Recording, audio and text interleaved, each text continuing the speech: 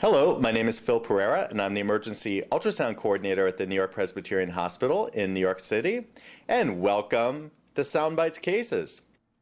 In this Soundbites module, we're going to look specifically at the use of bedside ultrasound to detect pleural fluid. Interestingly enough, ultrasound has been found to detect as little as 20 cc's of fluid within the pleural space. In contrast, a chest x-ray will not reliably pick up less than 100 to 150 cc's of fluid on an AP film.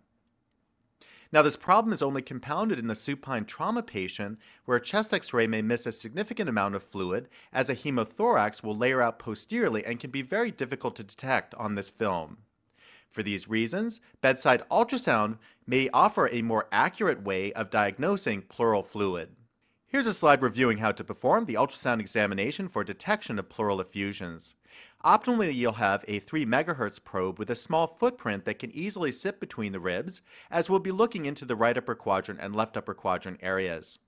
In position 1, we'll be coming into the standard right upper quadrant trauma fast exam and position the probe into that area just above the liver and below the diaphragm.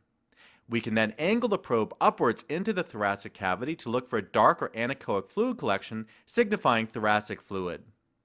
We can repeat the exam in the left side as shown in probe position 2, placing the probe into that area of the left upper quadrant trauma fast view.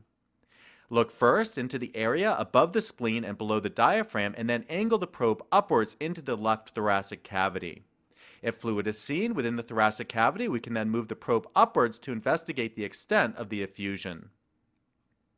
Here's a video going over how to perform the examination. Notice here we have a probe placed into the right upper quadrant trauma fast area.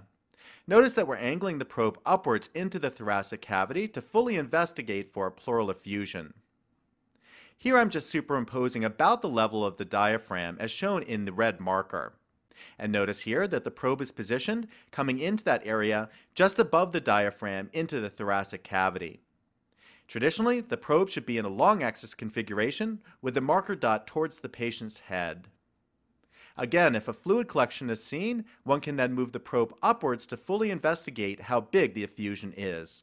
To optimize your examination, place the patient with the head slightly upwards so that the fluid will layer out above the diaphragm, allowing earlier detection of smaller amounts of fluid.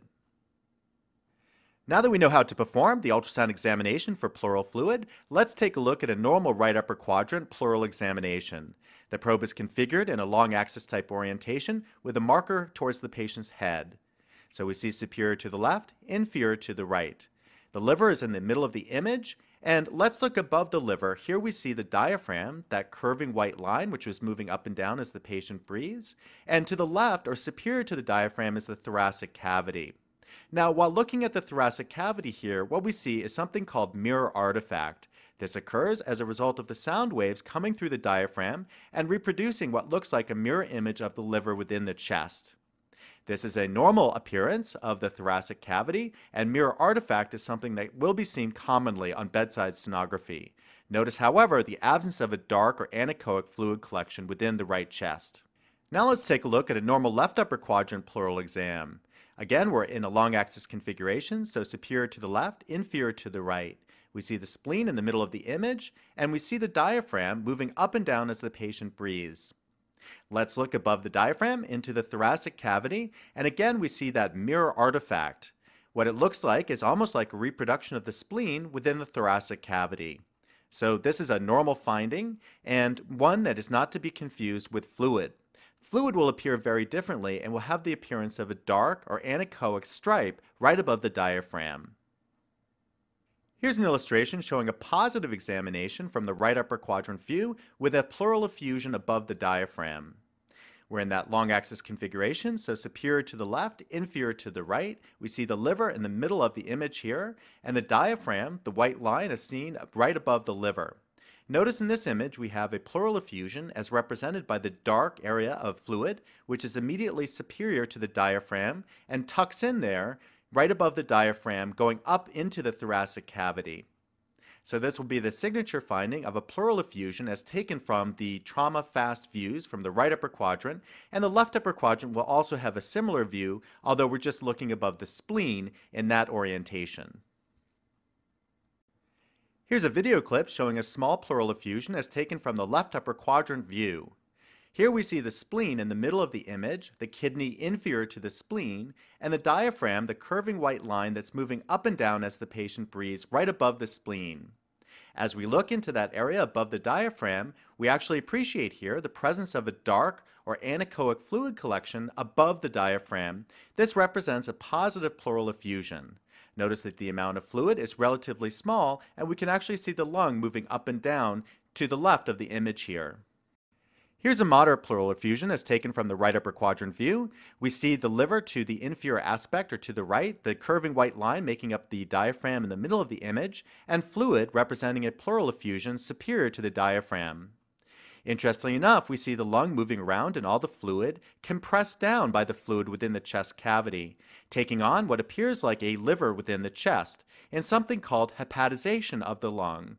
And this is commonly seen with the pleural effusion as it pushes in on the lung, making it more of a solid type organ.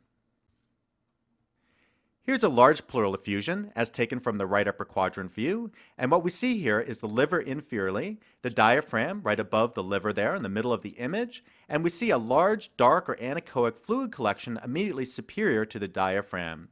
This represents a large pleural effusion. And in the midst of the pleural effusion, we can see the lung waving around and compressed down by all the fluid within the thoracic cavity, again demonstrating that hepatization of the lung as it's compressed down by the pleural fluid.